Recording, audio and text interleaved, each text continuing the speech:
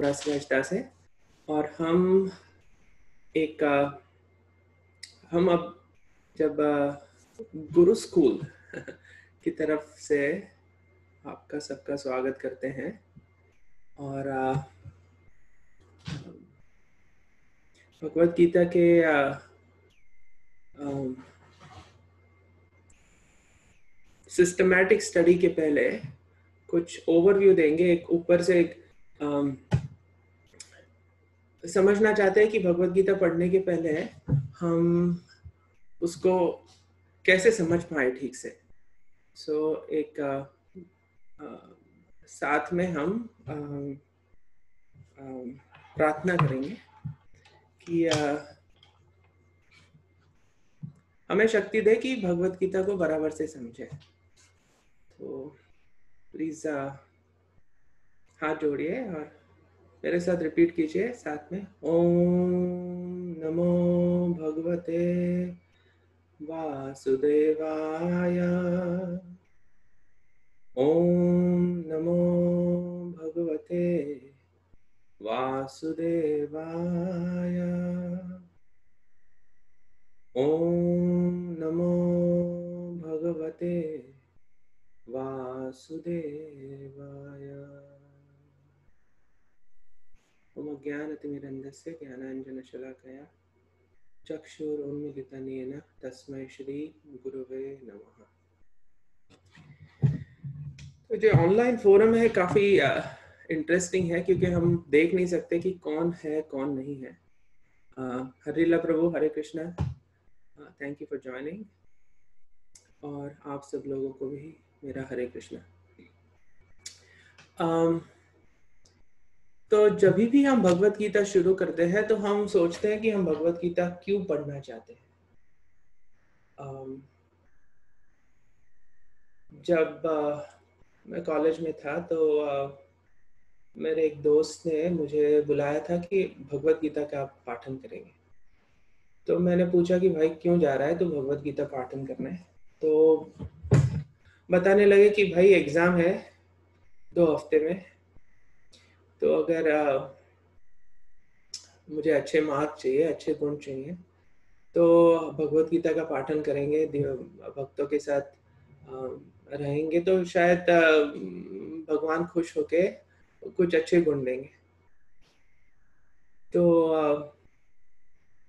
वो एक मोटिवेशन है हमसे भगवत गीता पढ़ने का।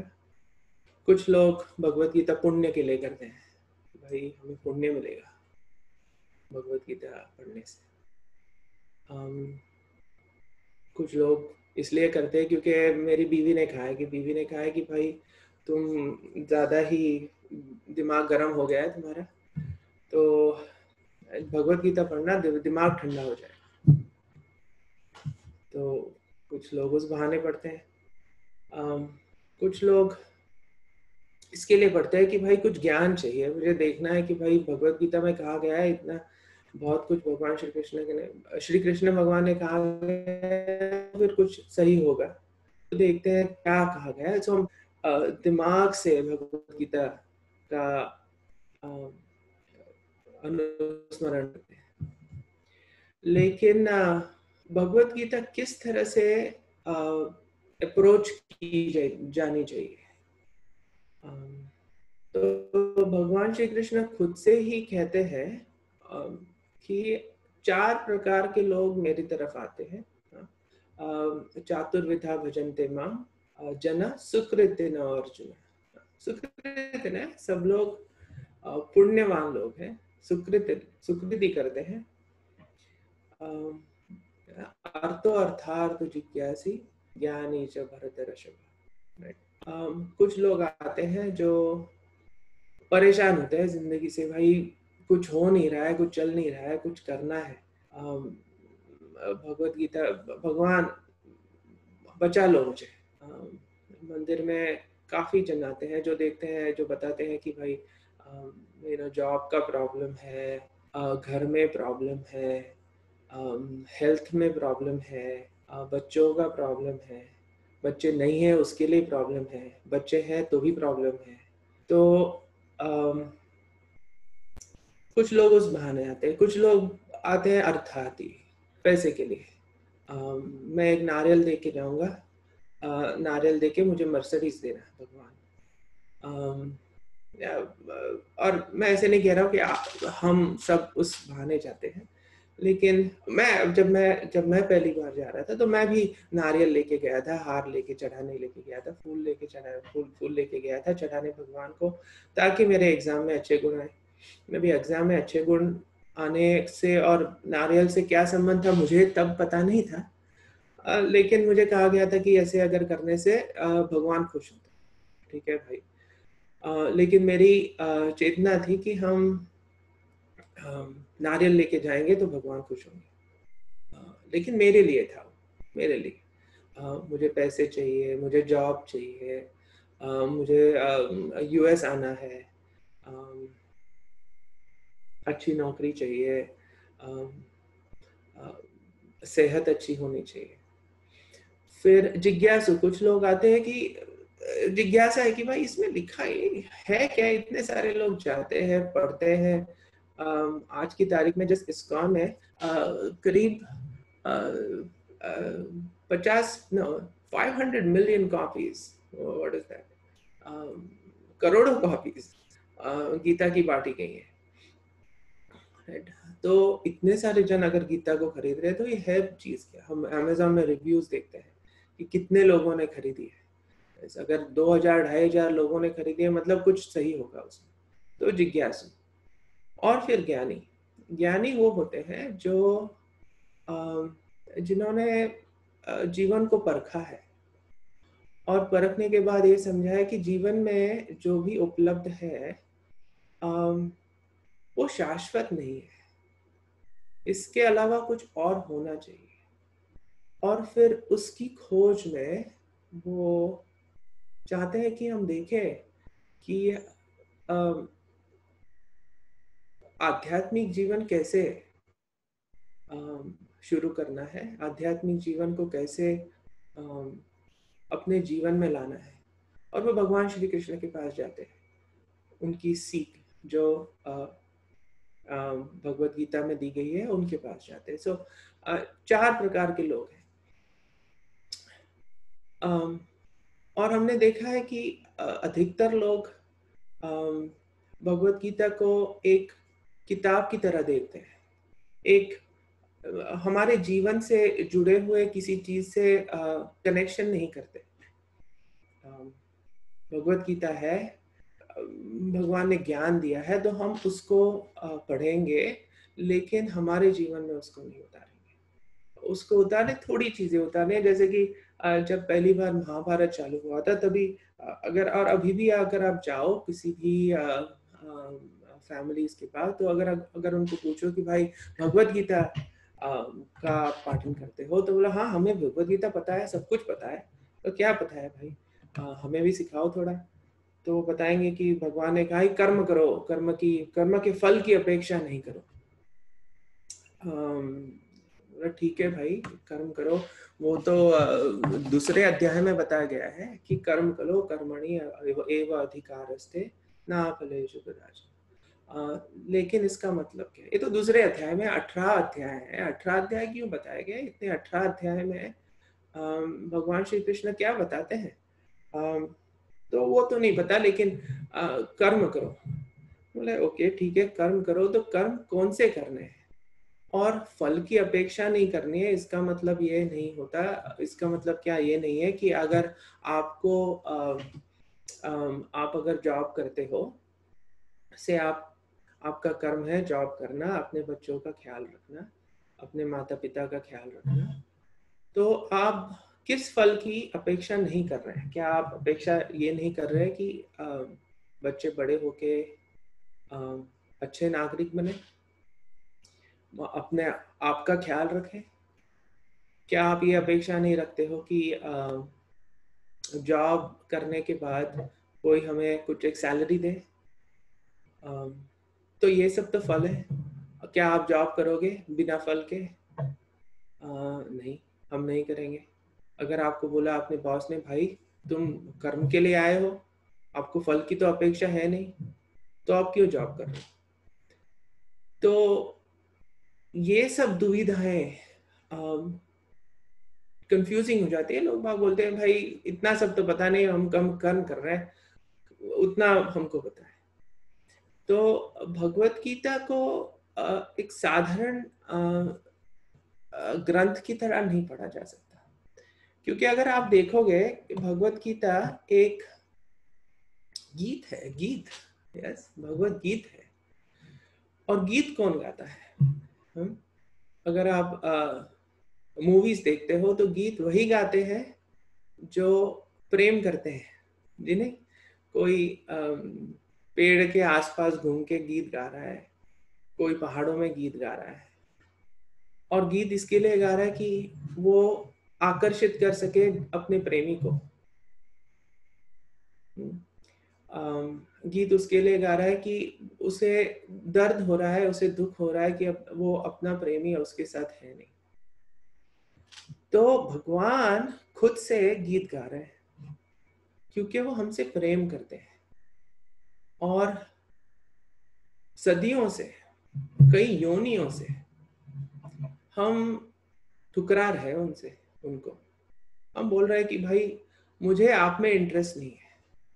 जैसे कि रावण को भगवान में इंटरेस्ट नहीं था। रावण को इंटरेस्ट था उसकी, उस सीता में। जो भगवान की है, उनकी एनर्जी है, उनकी शक्ति है लेकिन उस शक्ति के द्वारा हम इंद्रिय प्राप्ति कर सकते हैं।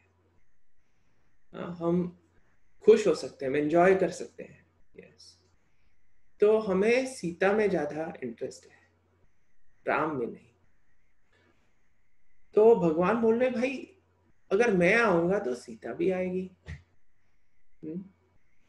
आ, लेकिन अगर मैं आऊँगा तो मुझे लोग बोलते, अगर आप आओगे तो मुझे आपकी सेवा करनी पड़ेगी भाई। तो मैं, मेरा क्या होगा? तो भगवान श्री कृष्ण भगवत गीता में यही बताते हैं कि सर्वधर्मान परित्याजा अहम तम सर्व पाप डरना नहीं डरना नहीं, मैं प्रेम करता हूँ तुमसे। अगर मैं प्रेम करता हूँ, मैं तुमसे ऐसे बर्ताव नहीं करूँगा कि जिससे तुम्हारी कोई हानि हो। लेकिन हमें ये विश्वास है या नहीं है?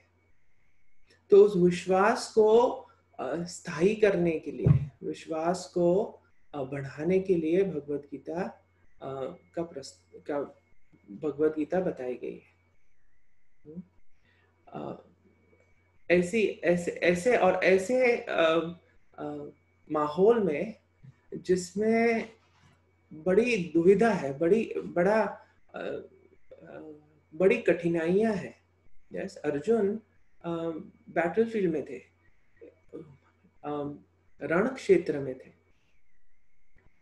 और रण क्षेत्र में आ, उसके सामने एक ऐसी आ, ऐसा प्रॉब्लम प्रस्तुत किया गया कि उसे जीतने के लिए ये युद्ध जीतने के लिए अपने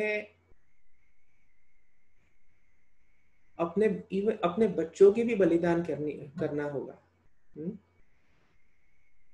तो अपने भाइयों का अपने आ, अपने पिताजी के आ, अपने परम पिताजी का क्या बोलते हैं? ग्रैंडफादर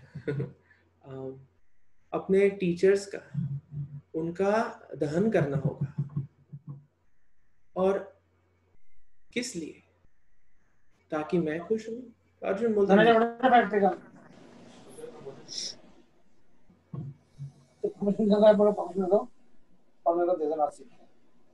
किसी कुछ प्रश्न है?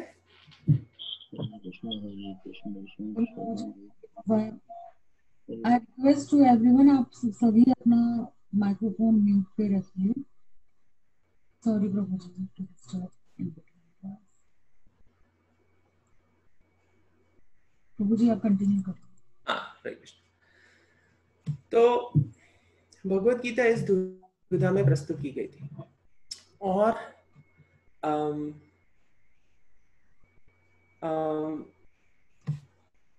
एक जिस तरह भगवत गीता प्रस्तुत की, की गई है भगवान श्री कृष्ण एकदम शुरुआत में ही एकदम क्लियर कर देते हैं भगवान अर्जुन को कि तुम ये सब बोलते रहे हो कि बोल रहे हो कि मैं ये करने वाला था, ये मुझे ये, मेरी ये चेतना थी, मुझे ये करना है और अब मैं नहीं करूँगा।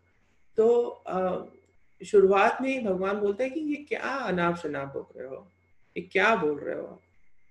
असोचन अनवसोचस्तम प्रज्ञावादाम च भाष्यते। गतासुन अगतासुन च नानु सोचंती पंडिता। तो पहले से ही भगवान श्री कृष्ण हमें आध्यात्मिक लेवल पे लेके जाते हैं कि आपके जो मटेरियल प्रॉब्लम है और आपकी जो दुविधाएँ हैं, आपकी जो डिजायर्स हैं आप क्या करना चाहते हो, क्या नहीं करना चाहते हो, ये सब मटेरियल साइड में आप बोल रहे हो। लेकिन इसका सुझाव मटेरियल साइड में नहीं है।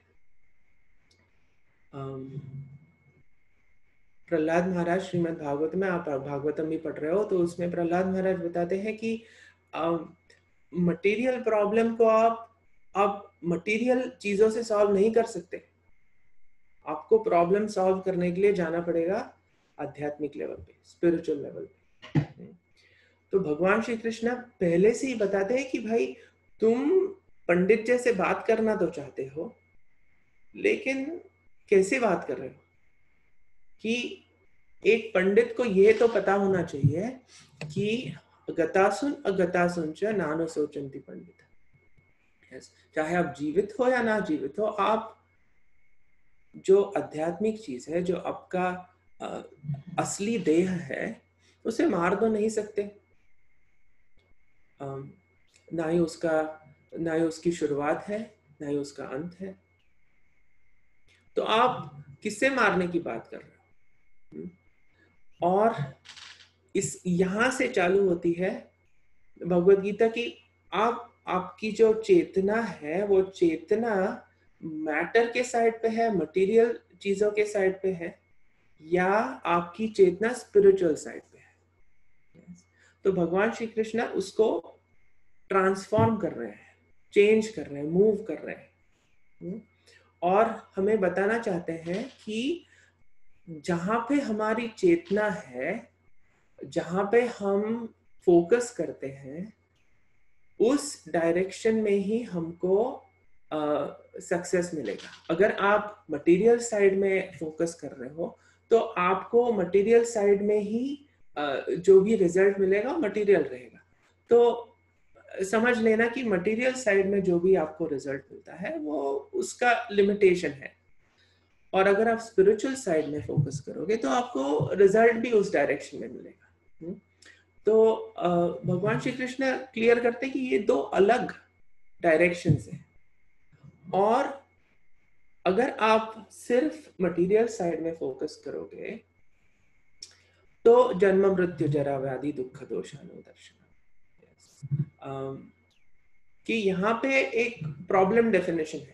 कि इस मैटर का कुछ एक एक एक उसकी क्वालिटी है। और उसकी क्वालिटी ये है कि वो हमेशा कम होती जाती है। अगर आप देखोगे या कम होना is not the right word it diminishes matter हमेशा um, अगर आप um, आज की तारीख में uh, देखते हो कि uh, जीवन कैसे चल रहा है। यस कोविड नाइनटीन इतने मेडिकल एडवांसमेंट के बाद टेक्नोलॉजिकल एडवांसमेंट के बाद हमें देखा गया कि आज की तारीख में हम एक दूसरे से मिल भी नहीं सकते। So there is a degradation in relationships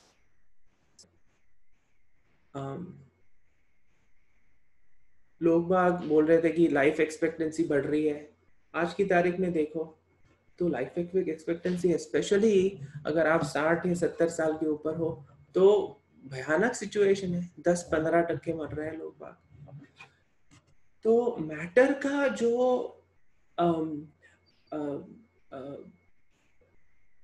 what's the word for the the foundation of matter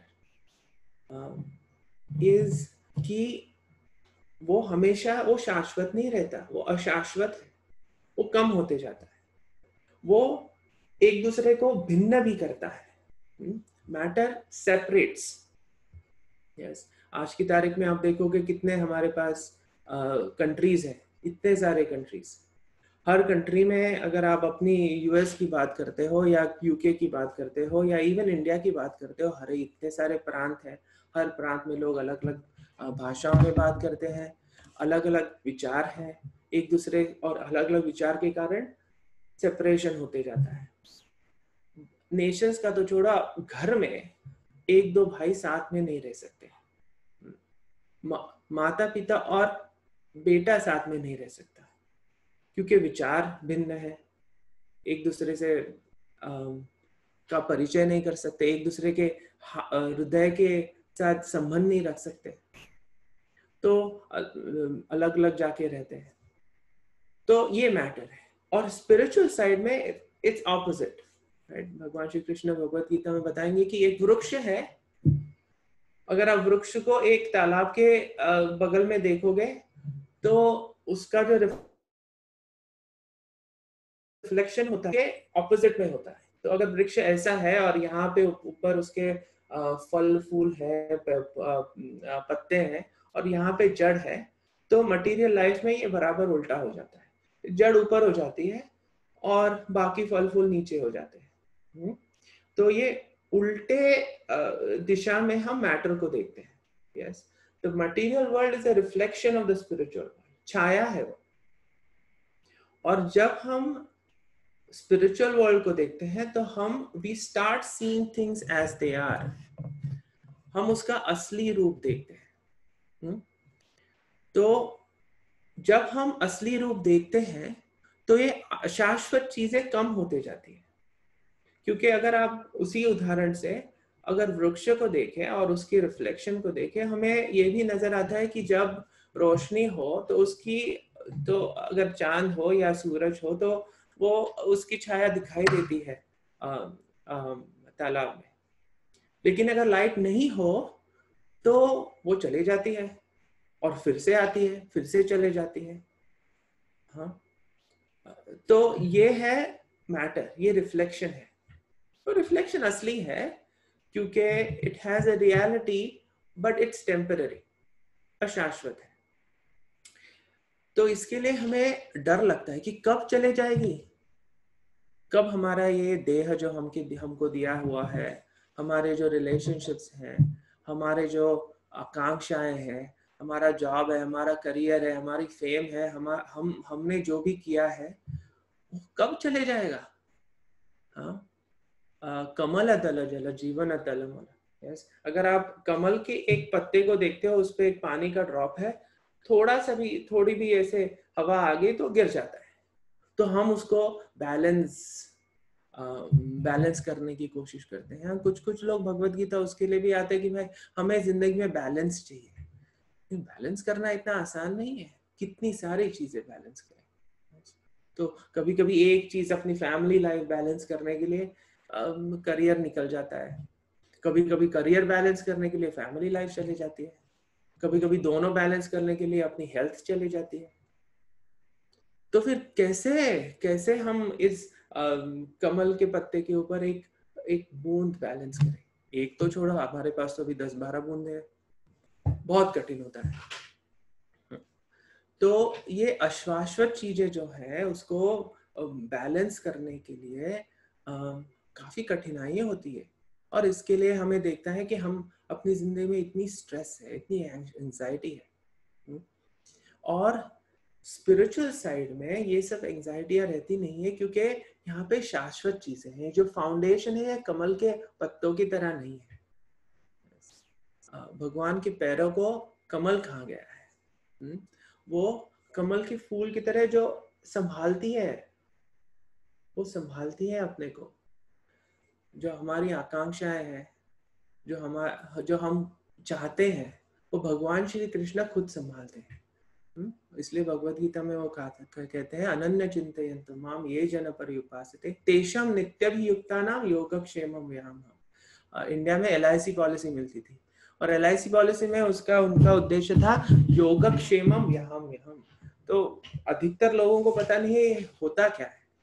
तो ये भगवान की इंश्योरेंस पॉलिसी है। वो कहते हैं कि मैं जो आपके पास है, वो उसको रखूँगा। एक मिनट, मेरा लैपटॉप चार्ज हो रहा है। एक मिनट।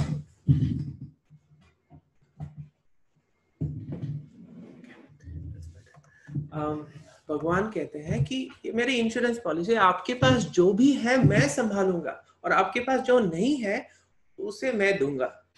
हाँ?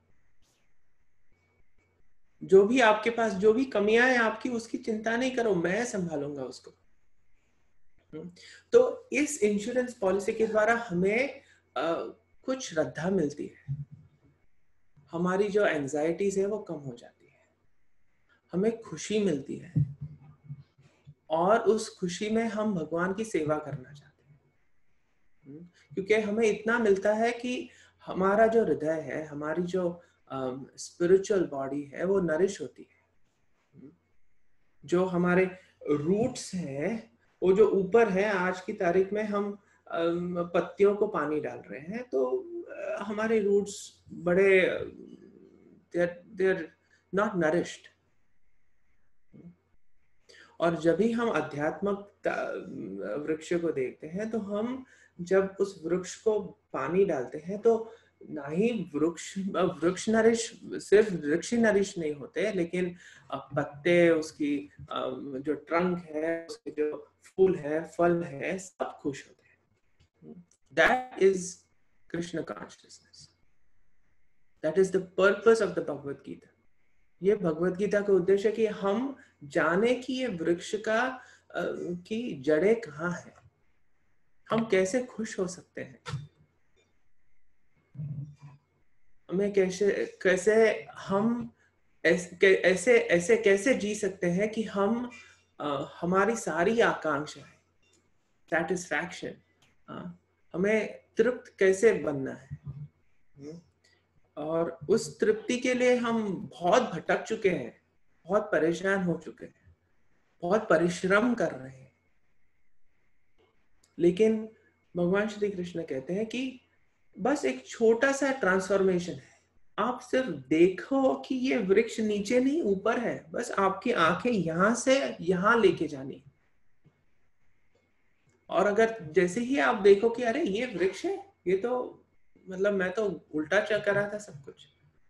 तो हमको ये ट्रांसफॉर्म करना है। हमारी जो चेतना है उसको ट्रांसफॉर्म करना है। ये भगवत गीता का उद्देश्य है। हाँ? तो कुछ टेक्निकल चीज़ें हम कवर करेंगे। आम, आम, और भगवत गीता में पाँच मूल्य सत्यों का ज्ञान निहित है। तो पाँच सत्यों का मतलब जो फाउंडेशंस है वो बताई गई है। एक है ईश्वर, भगवान। भगवान का मतलब क्या है? भगवान मतलब आज मतलब अगर आप अभी भारत में भी देखोगे तो हर पंद्रह दिन में नया कोई आदमी आता है, बोलता है, मैं भगवान हूँ। तो और लोग वह मानते भी उसे, हज़ारों लोग उसे मानते हैं। तो भगवान है कौन? तो भगवान का मतलब ये है कि उसमें परिभाषा ये है कि उसमें छह चीज़ें कंप्लीट होती है। ऐश्वर्य से समग्र से वीर से यशस्या ज्ञानम से वैराग्यम षण्णम भाग तो छह चीज़ें हैं। ये पराशर मुनि जो व्यासदेव के पिताश्री थे, उन्होंने कहा गया है कि भगवान वो है जिसमें ऐश्वर्य he's completely uh, um, um, उनमें ऐश्वर्य उनका पूर्ण है। I don't know of an Hindi word for it but his opulence is complete Shri उनके पास धन सबसे ज़्यादा है। उनके पास फेम सबसे ज़्यादा है। उनके पास नॉलेज ज्ञान सबसे ज़्यादा है। उनके पास शक्ति सबसे ज़्यादा है। हंड्रेड परसेंट कंप्लीट और वैराग्य। रिनाउंसिएशन सबसे ज़्यादा वो भी है। सब कुछ है और वैराग्य भी है। तो ये छह चीज़ें सब में जब कंप्लीटली होती है कोई ऐसे नहीं बोल सकता कि भाई आ, मेरे पास दो बिलियन डॉलर है इसलिए मैं भगवान भगवान के पास सारी सृष्टि उनके कब्जे में ही। Is the controller of everything सर्व कारण कारण और भगवान वो है जो कंप्लीटली स्वतंत्र है। हम स्वतंत्रता दिन अभी मनाए 15 अगस्त को इंडिया का इंडिपेंडेंस डे था। तो ही, भगवान कहते हैं, मैं स्वरात हूँ। इज़ इंडिपेंडेंट वो जो चाहते हैं, वो करेंगे। वो ही इज़ नॉट वो किसी के ऑर्डर फॉलोअर नहीं है। वो हमारा बटलर नहीं है, ना ही हमारे, वो वो एलेक्सा नहीं है। कुछ कुछ लोग कहते हैं कि भगवान भगवान मुझे ये दे दो और भगवान मुझे वो दे देंगे। जैसे कि एलेक्सा को हम बोलते हैं एलेक्सा टर्न ऑन टीवी तो एलेक्सा टीवी टर्न ऑन करती है। हाँ। तो भगवान एलेक्सा नहीं है। भगवान स्वतंत्र है। जो आपके लिए सबसे बेहतर होगा, वही भगवान करेंगे। चाहे आप कुछ भी मांगो भगवान सुन लेंगे। जैसे कि हमारे हमारे माता पिता बच्चे तो बहुत कुछ मांगते हैं, भगवान, बच्चे बोलते हैं, मुझे गाड़ी चलानी है। छह साल की मेरी बेटी जब थी, वो बोल रही थी, मुझे गाड़ी चलानी है, पापा। भाई, मैं उसको गाड़ी तो नहीं चलाने दे सकता। लेकिन उसको स्कूटर पे बिठाया, मैं इंडिया में था और हमारे कंपाउंड के आसपास ही उसको बोला, तू हैंडल पकड़ ले। और मैंने भी हैंडल पीछे से पकड़ा और उसको चला रहा था, उसको लगा कि मैं गाड़ी चला रही हूँ। तो भगवान ऐसे चीज़ें करने देंगे, लेकिन ऐसे, ऐसी ऐसी चीज़ों में नहीं डालेंगे कि भाई, ओके, तू चला ले स्कूटर यार, देखते हैं क्या होता है। क्योंकि हमको भी पता नहीं है कि हमारे लिए अच्छा क्या है। तो भगवान स्वतंत्र है। हम, हमारी स्वतंत्रता वो है कि हम भगवान को स्वतंत्र मानकर उनका उनका उपदेश सुने। और जिस टू द एक्सटेंट हम भगवान का उपदेश सुनते हैं, उस एक्सटेंट तक हम स्वतंत्र हैं। हमारी स्वतंत्रता is dependent independence we are are independence is dependent on us accepting Krishna's independence. भगवान को हम कब्जे में करना चाहते हैं। लेकिन वो कब्जे में करने के लिए हमें उन पे निर्भर होना पड़ता है। और जब हम उन पे निर्भर होते हैं तो वो हम पर निर्भर होते हैं। ये प्रेम की अनुभाषा है। यशोदा मैया को आप देखो, वो भी निर्भर थी भगवान के ऊपर। लेकिन उन्होंने भगवान को बाँध दिया अगर आपको भगवान को बांधना है तो प्रेम की, प्रेम से बाँध सकते हैं। हम ऐसे नहीं बोल सकते भगवान ये हमारे लिए करो। मुझे सीईओ e बनाओ कंपनी का। मुझे एच वन दे दो। मुझे ग्रीन कार्ड दे दो। मेरे बच्चों को आप सीईओ e बनाओ। मेरे बच्चों को डॉक्टर बनाओ। अगर आपने नहीं बनाया तो आप भगवान नहीं हो। भगवान ऐसे नहीं है। हम्म, भगवान स्वतंत्र है। तो ईश्वर। दूसरी चीज़ है कि जीवा। हाँ? और जीव और प्रकृति। ये एक ईश्वर जीव और प्रकृति हम साथ में कवर करेंगे दोनों को। देर इज़ देर आर दो टाइप की प्रकृति एक परा प्रकृति और एक अपरा प्रकृति। हम्म, परा प्रकृति वो है जो जीव है। जीव ममय वंश जीव लोके जीव भूत सनातन सनातन काल के लिए जो जीव तत्व है वो भगवान के अंश है। वो क्वालिटेटिवली उनकी क्वालिटी भगवान की जैसी है।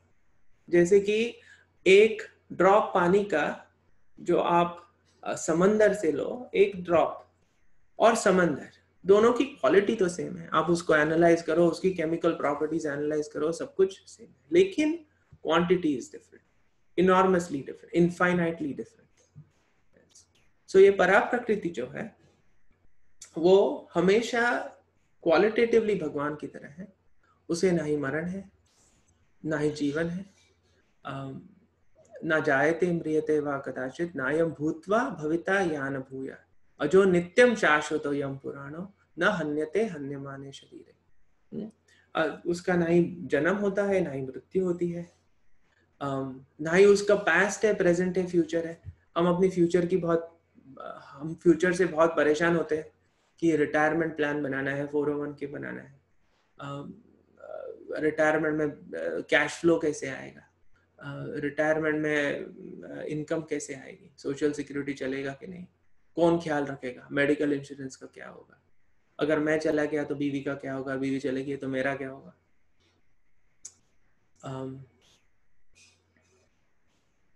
बहुत सारी बहुत सारी चीज़ों में हम रहते हैं फ्यूचर में। हम फ्यूचर में सोचते रहते हैं कि क्या करना है। या फिर हम पास्ट में सोचते रहते हैं मेरे साथ ऐसे हुआ इसलिए मेरा ऐसे हुआ हो रहा है अभी। अगर मेरे साथ अगर ऐसे नहीं होता तो मैं ऐसे करता। अगर मैं इस डायरेक्शन अगर मैं सॉफ्टवेयर इंजीनियर होता तो अब मुझे ऐसे आ, मेरी ऐसी तरक्की हो, हो हो हो सकती थी।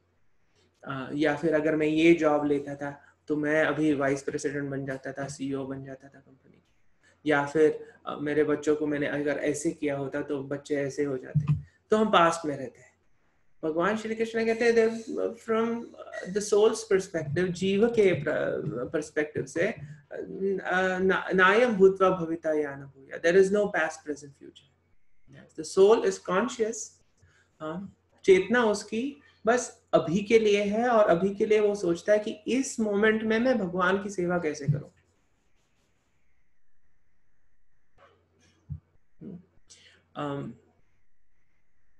तो ये जीव है। और जैसे आप भगवत गीता में आगे आगे जाओगे, आपको देखेगा इसमें काफ़ी सारा there is a lot of information that is presented yes now ईश्वर और जीव में क्या रिलेशनशिप है? ईश्वर जैसे कि हमने बताया गया है कि ईश्वर महान है। और हम अणु हैं, छोटे हैं। और दोनों एक एक का रिलेशनशिप दूसरे से प्रेम का है और सेवा का है। जब जीव भगवान की सेवा करता है तो खुश होता है। और क्यों खुश होता है? क्योंकि भगवान जो उनकी महानता है, उसमें जीव को शरण देते हैं। तो जीव को कोई परेशानी नहीं होती। जैसे कि एक व्यक्ति अगर उसको बताया गया कि उसके वो वेयर हाउस में कहीं काम कर रहा है या सॉफ्टवेयर इंजीनियर है, कहीं काम कर रहा है हंड्रेड टू हंड्रेड के की सैलरी है। बहुत परेशान है, मेहनत कर रहा है, अगर उसको बताया गया कि उसके बापू, उसके पिताश्री ट्रिलियनर है। They own billions and billions and millions and trillions of dollars और जिस कंपनी में काम कर रहे हो, उसके मालिक तो उसके पापा है। तो समस्या सुलझ जाती है सारी। प्रॉब्लम फिनिश्ड हाँ। तो बेटे को सिर्फ़ पता रहना चाहिए कि हमारे पिताश्री कौन है। उनकी महानता क्या है?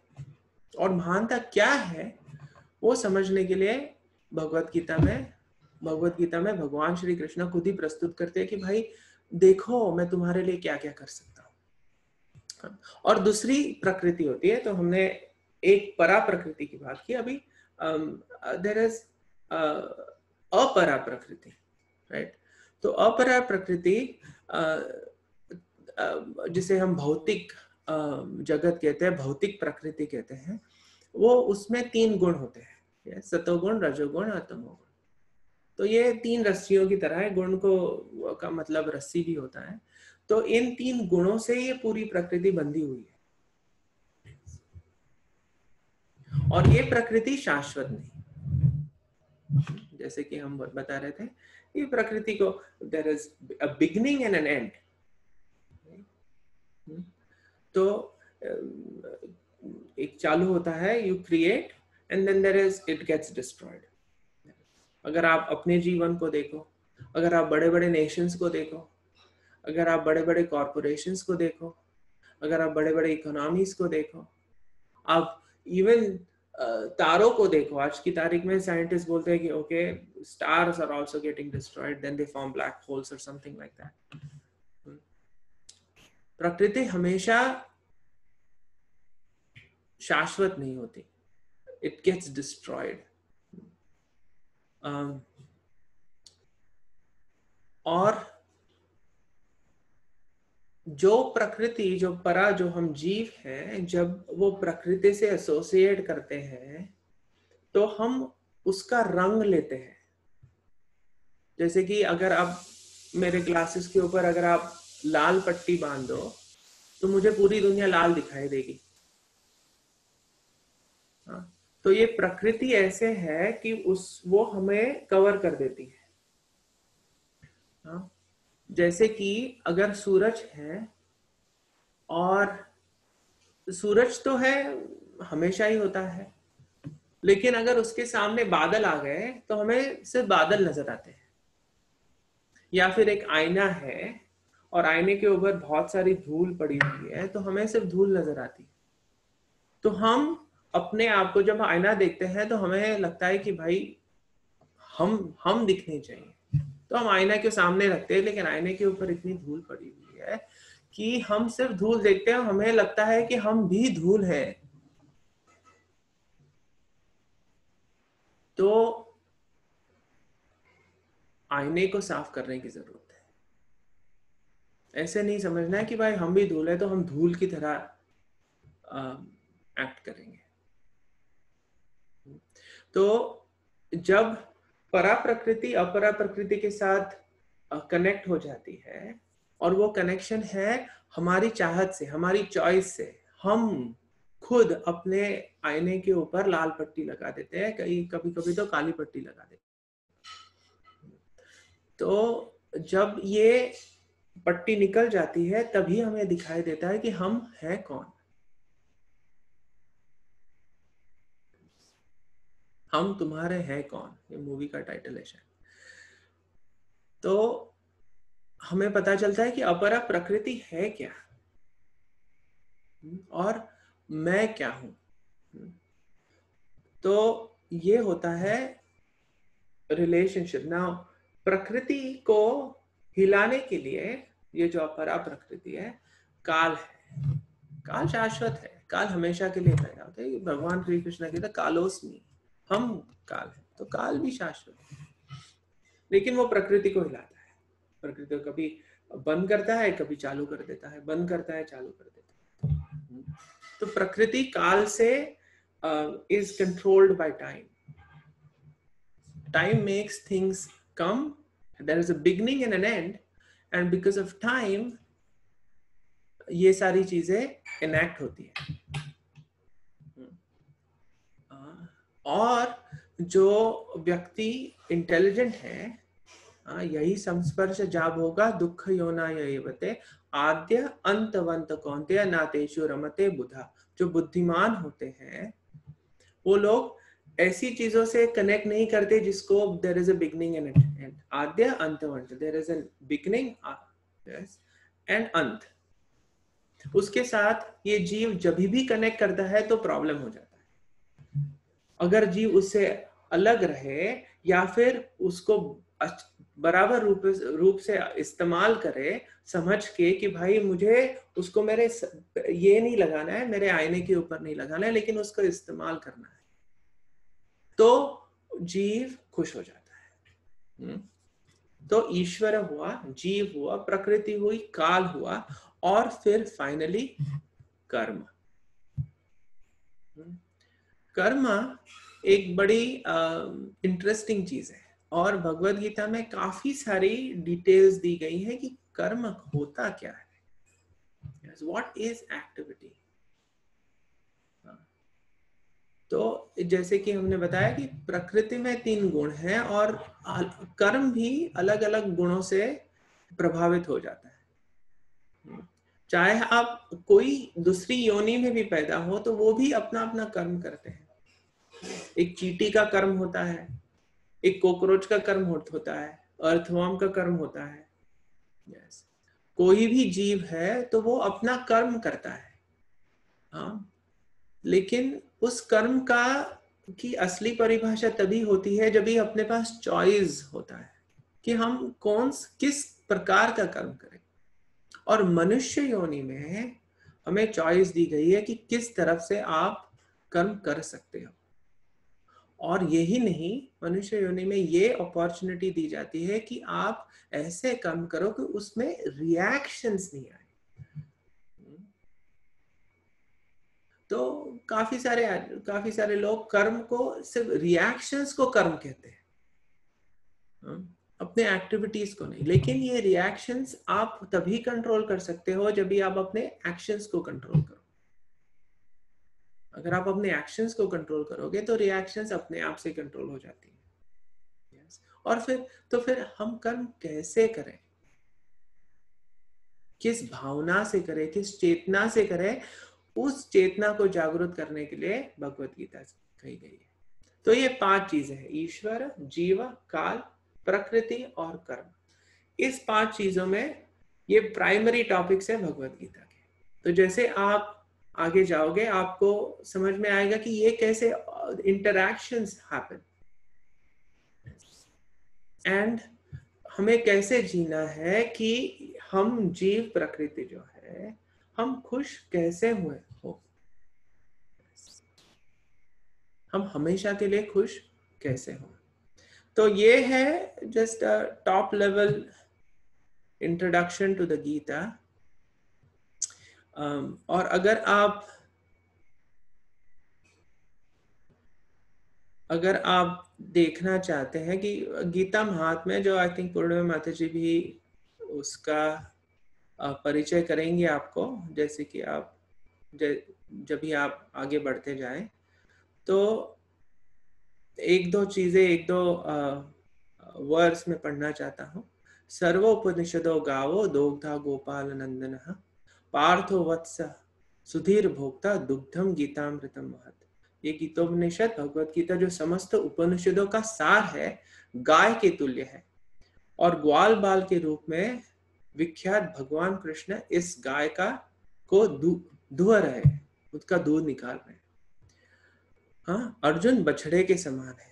और सारे विद्वान तथा शुद्ध भक्त भगवत गीता की अमृतमय दूध का पान करने वाले हैं। तो आप सब लोग जो है, आपसे अनुवेद अनुवेद है, आपसे निवेदन है कि आप प्लीज़ भगवत गीता में जो अमृत की तरह दूध है, उसका पान करें हम्म? और एकम शास्त्रम देव की पुत्रम गीतम, एको देवो देव की पुत्र एव, एको मंत्रस्तस्य नामानि यानी कर्मापेकम तस्य देवस्य सेवा तो एक ही शास्त्र है, सारे जगत के लिए। सारे जगत के लिए सिर्फ़ ह्यूमन बीइंग्स के लिए नहीं सारा, सारे देव, देवी देवताओं के लिए भी। विश्व में जो भी ट्रेडिशन है सबके लिए। और बाकी सारे स्पीसीज के लिए, चाहे आप गाय हो, मच्छर हो, सबके लिए गीता एक ही शास्त्र है? क्योंकि उसमें भगवान से प्रेम कैसे करना है? उसका उपदेश दिया गया है। How to love God who is God and how to love एको देवो देव की पुत्र है। भगवान श्री कृष्ण एक ही भगवान। आज की तारीख में हम देखते हैं, हम इक्वालिटी चाहते हैं। हम हम चाहते हैं कि एक ही भगवान हो। तो एक ही भगवान है, भगवान एक ही हो सकते हैं। Yes. there is only one, there's room for only one on the top. एको मंत्रस्तस्य नामानि यानी। हमारे जो ट्रेडिशन में है, हम एक नाम नाम का कीर्तन करते हैं, हम जिस मंत्र का कीर्तन करते हैं, हरे कृष्णा हरे कृष्णा कृष्णा कृष्णा, हरे हरे हरे राम हरे राम राम राम, हरे। इस मंत्र को लेकर आप अपने असली रूप को जान सकते हैं। और हमारा क्या रिलेशनशिप है भगवान के साथ, वो भी जान सकते हैं। तो अगर आप भगवान अगर भगवत गीता का ध्यान देते हैं Sanjay at the very the last verse of the Gita यत्र योगेश्वर कृष्ण जहाँ भगवान श्री कृष्ण है यत्र पार्थ धनुर्धर जहाँ कृष्ण के भक्त हैं जैसे पार्थ जैसे अर्जुन तत्र श्री विजयोर भूति ध्रुव नीति वहाँ uh, सारी सफलता है। Uh, सारी योग्यताओं का आपका की सफलता इसमें ही है कि जहाँ पे आप आप कृष्ण को अपने अपने ज़िंदगी में लाओ। और भगवत गीता बताती है स्टेप बाय स्टेप कि कैसे करना है। कर्म योग क्या होता है ज्ञान योग क्या होता है अष्टांग योग क्या होता है। उसकी सक्सेस क्या है और फाइनली मेनली भक्ति योगा क्या है। भक्ति क्या है? भगवान और भक्ति और भक्त। ये तीन जन बस और कुछ नहीं। और जब हम हम इसका परिचय करते हैं तो फिर सारी बाकी सारी चीज़ें हार्मोनाइज हो जाती है। They align they, because we have a foundation हम अब कमल के पत्तों के ऊपर नहीं हमें फाउंडेशन मिल गया है। और जब हमें फाउंडेशन मिलता है समसिद्धि।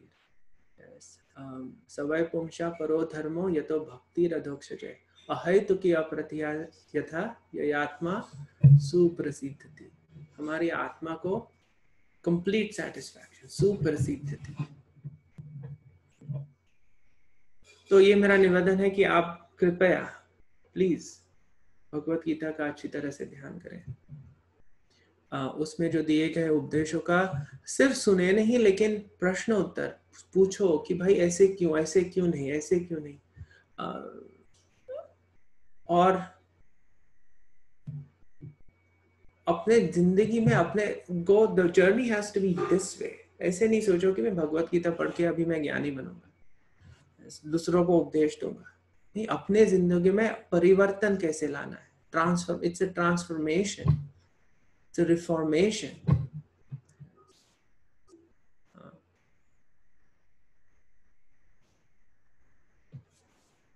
तो मुझे मेरा निवेदन है कि आप प्लीज़ ऐसे करें मुझे क्षमा करें अगर मैंने कुछ ऐसे कहा गया जो जिससे आपको परेशानी हो हुई तो आ, मेरी हिंदी को भी आप होपफुली आप क्षमा करेंगे। I am usually used to speaking in English because of my upbringing लेकिन पूर्णिमा जी कोई प्रश्न? अगर हमारे पास सात आठ मिनट है अगर प्रश्न उत्तर के लिए आ, आ, कोई टाइम हो तो हम कर सकते हैं वरना we can stop Hare Krishna प्रभु जी अति सुंदर परिचय दिया आपने भगवत गीता का। हरी लीला बोल रहा ह्यूस्टन से। हरे लीला प्रभु दंडवत प्रणाम प्रभु जी थैंक यू सो मच अति सुंदर परिचय दिया। I am very pleased thank you प्रभु जी आप आपकी दया है। लेकिन आप होपफुली आप now you can take the rest of them on the journey through the Gita Hindi मेरी तो इतनी अच्छी नहीं है प्रभु जी। आपने आपकी बहुत अच्छी हिंदी सच्ची है। उनकी दासियों के लिए अच्छा रहता है प्रभु जी। आप डलास में कब कब से है?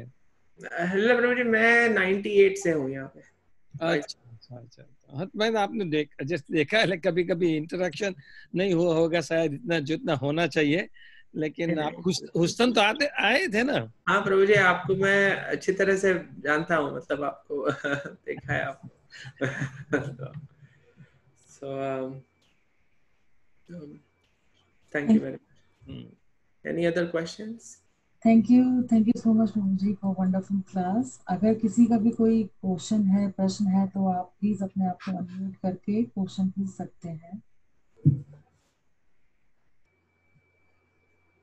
शायद मैंने सबको सुला दिया।